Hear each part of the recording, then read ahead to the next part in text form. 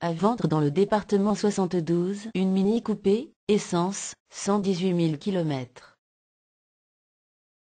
Millésime 1994, le prix du véhicule est indiqué sur 321auto.com.